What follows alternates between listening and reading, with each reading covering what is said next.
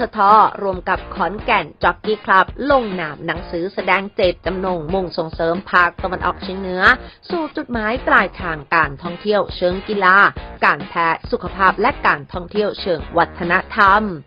การท่องเที่ยวแห่งประเทศไทยหรือททท โดยนางสาวถาปณีเกียรติไพบูลรองผู้ว่าการด่านตลาดในประเทศ และบริษัทขอนแก่นจ็อกกี้คลับจำกัดหรือ KKJC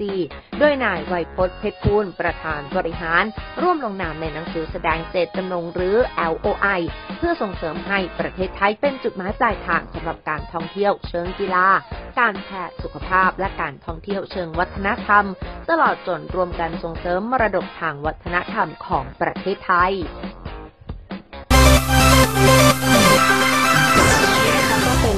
ธีลงนามความร่วมมือนะคะเพื่อประชาสัมพันธ์แหล่งท่องเที่ยวเชิงนิเวศ ในพื้นที่ภาคอีสานและก็จังหวัดขอนแก่นและก็ใกล้เคียง ระหว่างการท่องเที่ยวแห่งประเทศไทยนะคะกับบริษัทขอนแก่นจ็อกกี้คลับนะคะซึ่ง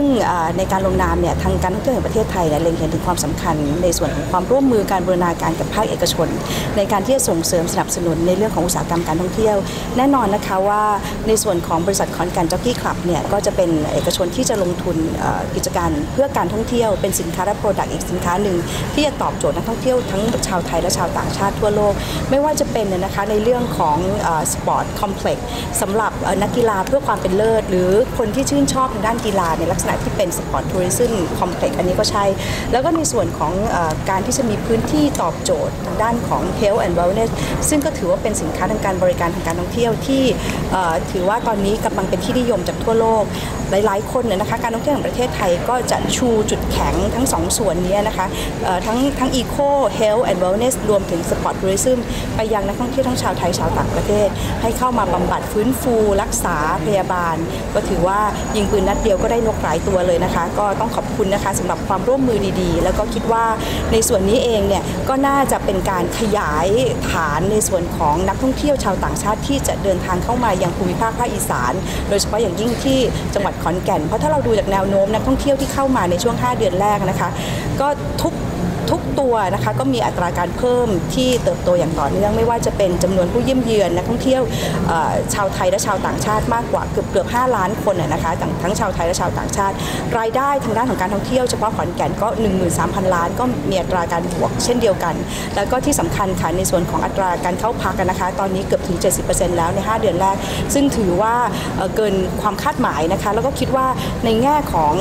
ความสัมพันธ์การบูรณาการแบบนี้นะคะในส่วนของมิติการท่องเที่ยว ทั้งในและนอกอุตสาหกรรมเนี่ยก็น่าจะทำให้ทั้งรายได้จำนวนผู้เยี่ยมเยือนอแล้วก็ภาพลักษณ์ของจังหวัดขอนแก่นและภาคอีสาน น่าจะอยู่ในสายตาคนทั่วโลกได้ไม่ง่ายไม่ยากเลยค่ะความยินดีนะครับที่มีการท่องเที่ยวแห่งประเทศไทยให้การสนับสนุนนะครับ